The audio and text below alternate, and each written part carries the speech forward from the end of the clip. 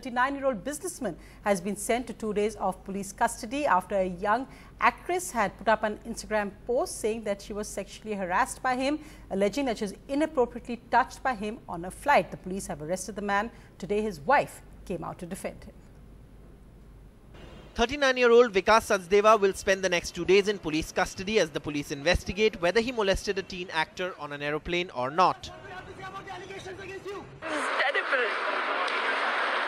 This is how we're going to take care of girls. No one, no one will help us if we don't decide to help ourselves. And this is, this is the worst thing.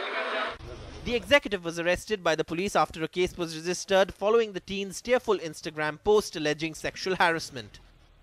But his wife insists he's innocent and says his foot may have touched the actor inadvertently. The family argues Sachdeva was asleep and had no intention to molest her. While he was sleeping हो सकता है उनका पैर आम, armrest पे गया होगा जो कि दिख रहा है कि आमरेस्ट पे रखा हुआ है but not with the intention of molesting अगर आ, किसी तरह का सेक्सुअल हरासमेंट या मोलेस्टेशन होता है तो इंसान उसी टाइम रिवोल्ट करता है उसी टाइम रिएक्शंस देता है। तो वैसा तो कुछ भी नहीं हुआ था।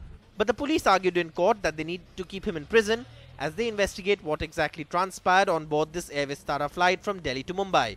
The executive's lawyers insist the charges, including for child sexual offences, cannot hold up. Eight ने लगता है क्रिमिनल इंटेंट नहीं है और सेक्शन एट तभी लगता है जब प्राइवेट पार्ट्स को टच किया जाता है क्रिमिनल इंटेंट नहीं है इसीलिए क्या एक आदमी सोया हुआ उसका क्या क्रिमिनल इंटेंशन होगा और जब उसने एयर होस्टेस को बोला है कि don't disturb me don't offer me any water और any food The accused has been arrested and the police have two days to interrogate him for the moment. but the real test for the police is, of course, to gather evidence that will stand the scrutiny of law and lead to a conviction. In Mumbai, Saurabh Gupta, NDTV.